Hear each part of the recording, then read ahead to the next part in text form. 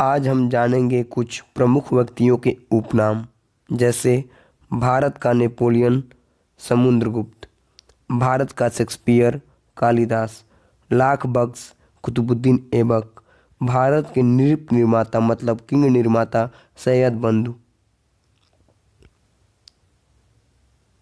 तोता ए हिंद, अमीर खुसरो, लिटिल कारपोरल और man of dynasty Napoleon Bonaparte.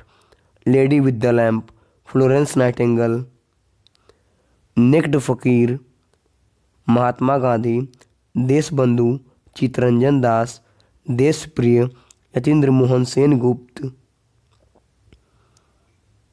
Deenbandhu C F Andrews, सीमांत गांधी, खान अब्दुल गफ्फार खां और खान अब्दुल गफ्फार का प्रथम विदेशी थे जो भारत रत्न से पुरस्कृत किए गए थे।